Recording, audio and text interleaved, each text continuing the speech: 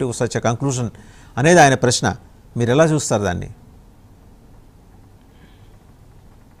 మాదిరెడ్డి శ్రీనివాస్ రెడ్డి గారు. అదే sir ఆత్మసాక్షి survey వారు. వాళ్ళు చెప్పిన దాని ప్రకారం నేనేమో అక్కడ ఎలక్షన్ చేసినట్టు కాదు నాకేం తెలియదు బట్ డిఫరెంట్ అబ్జర్వేషన్స్ మీ నోటీస్లో ఉండి ఉంటాయి కదా అబ్జర్వేషన్స్ నేను చేసినవి. ఆత్మసాక్షి వాళ్ళు ఎప్పుడు కూడా వాళ్ళ సర్వే చాలా వాస్తవానికి దగ్గరగా ఉంటుంది. వాళ్ళు చేసింది ఏంటంటే మొదటి ఆరు రౌండ్లు కూడా మ్మ్. టిఆర్ఎస్ కే మెజారిటీ వస్తుంది ఓకే మ్మ్. మొదటి ఆరు రౌండ్లలో మ్మ్. టిఆర్ఎస్ని ఒక రెండు వేల ఓట్లలో ఉంచగలిగితే దీనికి మామూలుగా భారతీయ జనతా పార్టీకి ఈటల రాజేందర్కి అవకాశాలు ఎక్కువగా ఉన్నాయి. టిఆర్ఎస్కి కానీ అక్కడ మెజారిటీ. వాళ్ళు ఆశించినట్టుగా పదివేలు కానీ వస్తే నెక్ అండ్ నెక్ పదివేలు అక్కడ మెజారిటీ వచ్చినా గానీ భారతీయ జనతా పార్టీ ఐదు నుంచి పదివేలతో బయటపడుతుంది అని చెప్పి వాళ్ళ సర్వే సార్ ఆత్మసాక్షి వాళ్ళ సర్వే ఓకే. నేను ఆ సర్వే ప్రకారం నేను మాట్లాడాను తప్ప. టిఆర్ఎస్ కాండే వారు వారికి ఉండే కాన్ఫిడెన్స్ వాళ్ళకు ఉంటుంది అందు ఇంకో మాట కూడా చెప్పాను మీతో. ఏమన్నానంటే రాజకీయాల్లో ఎప్పుడు కూడా ఏది కూడా ఊహించింది ఊహించినట్టుగా జరగదు. ఇక్కడ మెజారిటీ రాదు అనుకున్న చోట వాళ్ళకి బీజేపీకి మెజారిటీ వచ్చింది. అంటే ఇన్ఫాక్ట్ వాళ్ళ సర్వే కూడా చెప్పింది one percent one percent. Variation వాళ్ళు చెప్పింది కూడా వన్ పర్సెంట్ వేరియేషనే వేరే చెప్పారు. క్లారిఫై అయిన తర్వాత మనం ఒక నిర్ణయానికి రావచ్చు అన్నారు. ఆ వీణవంక కూడా అవ్వాలేమో అయిన తర్వాత చూడాలి. నేనే నేనేమంటున్నానంటే. ఒక ట్రెండ్ స్టార్ట్ అయిన తర్వాత సార్ ఎలక్షన్స్ ఎన్నో రిజల్ట్స్ మనం చూసాము. ఒక్కసారిగా తిరగబట్టం అనేది ఎక్కడా ఉండదండి. ఎందుకంటే ఒక ఒక మొత్తము అర్బన్ గాని రూరల్ గాని హుజూరాబాద్లో ఏ ఒక్క రౌండ్లో కూడా ఏ ఒక్క రౌండ్లో కూడా అధికార టిఆర్ఎస్ పార్టీ కొంత కాకపోతే కొంతైనా లీడింగ్ తెచ్చుకోలేకపోవటం మాత్రం ఇక్కడ మనం నోట్ చేసుకోవాల్సినటువంటి పాయింట్. నేనైతే ఇప్పటికీ ఇరవై నుంచి పాతిక వేలు బీజేపీ గెలుస్తుంది అనే దానికి నేను కట్టుబడి ఉన్నా. రైట్ ఒకసారి త్వరగా శ్రీరామ్ గారి దగ్గరికి వెళ్దాం. శ్రీరామ్ గారు సో డిఫరెంట్ అబ్జర్వేషన్స్ సరే దాదాపు ఏడెనిమిది సర్వేలు వస్తే అందులో ఒకే ఒక్క సర్వే తప్పించి మిగిలిన అన్ని కూడా బీజేపీ గెలుపుని ధృవీకరిస్తూ ఎగ్జిట్ పోల్కి సంబంధించి ధృవీకరిస్తూ మాట్లాడే ఒకే ఒక సర్వే టీఆర్ఎస్ గెలిచి తీరుతుంది. నారో మార్జిన్ ఒక నాలుగు వేల ఐదు వేల ఓట్లతో వచ్చి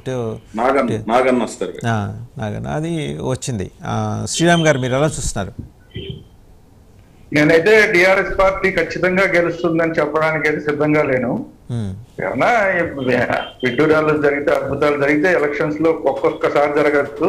కానీ ఈసారి అది జరుగుతుందని నేనైతే అనుకోవట్లే. ఎందుకంటే ఇందాక మనం చెప్పుకున్నట్టు ఈటెల రాజేంద్ర గారికి ఏదైతే సెంటిమెంట్ ఉందో ఆయన్ని దెబ్బ కొట్టారు. కేటీఆర్ గారికి అడ్డం లేకుండా ఆయన్ని పక్కకి తప్పించారు. అన్న సెంటిమెంట్ ఏదైతే ఉందో అది కాకుండా టిఆర్ఎస్ పార్టీలో అనేక మంది మీద ఆరోపణలు ఉంటే కేవలం ఒక్క ఈటల రాజేంద్ర గారి మీదనే వ్యవస్థలన్నీ పడిపోయి ఆ ఒక్క కేసు మీద వ్యవస్థలన్నీ కూడా దాడి చేసి ఆయన్ని ఒక ఏదో దారుణమైన మోసాలు చేసి లేదంటే చాలా ఇబ్బందులు పెట్టిన వాళ్ళలాగా చిత్రీకరించే ప్రయత్నం ఏదైతే చేశారో అది బూమరాంగ్ అయినట్టుగా కనబడుతోంది. ప్రజల్లో లేకపోతే కనుక ఇప్పుడు ఇంత డబ్బులు ఖర్చు పెట్టి మీరు అన్నట్టు ఆరు వేలు ఆరు వేలు చొప్పున డబ్బులు ఖర్చు పెట్టాల్సిన అంత అవసరం టీఆర్ఎస్ పార్టీకి వచ్చి ఉండేది కాదు. ఆయనకి అంత సెంటిమెంట్ ఉంది కాబట్టే ఈ ఏడున్నర సంవత్సరాల్లో ఇప్పుడు ఏదైతే టిఆర్ఎస్ పార్టీ మీద సహజంగా ఉండే యాంటీ ఇన్కంబెన్సీ ఉంటుందో దానికి తోడు ఈటెల రాజేంద్ర గారి సెంటిమెంట్ ఆయన్ని అన్యాయం చేశారు. బలవంతంగా పార్టీ నుంచి వెళ్ళిపోయేలాగా చేశారు. కొడుక్కి అడ్డంగా లేకుండా చేశారు అన్న ఈ సెంటిమెంట్ పనిచేయడం ఒకటి. తరువాత మూడో అంశం ఏంటంటే కేంద్రంలో అధికారంలో ఉన్న భారతీయ జనతా పార్టీ వెనకాల దన్నుగా నిలబడ్డం. కేంద్రంలో ఉన్న భారతీయ జనతా పార్టీ కనుక వెనకాల దన్నుగా నిలబడకపోతే అసలు ఇప్పుడు మనం చెప్పుకుంటున్న డబ్బులు మీరు ఏదైతే ఆరు వేలు అన్నారో ఇంకా ఎక్కువ జరిగి ఉండేదేమో బహుశా. అంత ఇంకా కొంత కంట్రోల్ అయ్యి ఉంటుంది. ఇప్పుడు ఈ వీళ్ళు చేశారు పైనుంచి వీళ్ళందరూ ఉన్నారు కాబట్టి.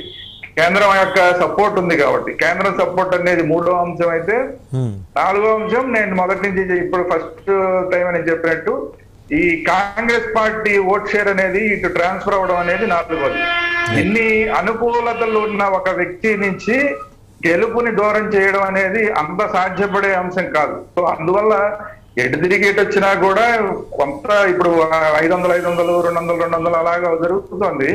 ప్రతి చోట కూడా ప్రతిసారి మన ప్రతి రౌండ్లో కూడా ఇదే ట్రెండ్ కంటిన్యూ అయ్యే అవకాశం ఉంది. ఒకటి రెండు మండలాల్లో తప్ప ఆ ఒకటి రెండు మండలాల్లో తగ్గినా కూడా ఇప్పుడున్న ఈ ట్రెండ్ని బట్టి చూస్తే మహా తగ్గితే అక్కడ కూడా ఐదు ఆరు వందలు. ఇప్పుడు ఎలాగైతే ఐదు ఆరు వందలు ఐదు ఆరు వందలు పెరుగుతూ వస్తుందో అక్కడ కూడా ఒక ఐదు ఆరు వందలు ఏమన్నా టీ మన రాజేంద్ర గారికి తగ్గే అవ- అవకాశం ఉంది.